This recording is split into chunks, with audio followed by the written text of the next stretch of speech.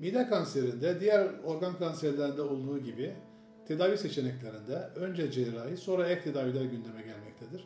Eğer hastalık belli bir evrenin üstündeyse önce ek tedaviler yani kemoterapiyi yapıp hastalığı geriletmek ve sonra ameliyat yapmak mümkünken uygun evrede gelen hastada önce cerrahi yapmak, burada da midenin e, büyük bölümünü ya da tamamını almak ve daha sonra da e, ek tedavi dediğimiz kemoterapi, gerekirse ışın tedavisi yapmak tedavide gereken e, yöntemlerdir.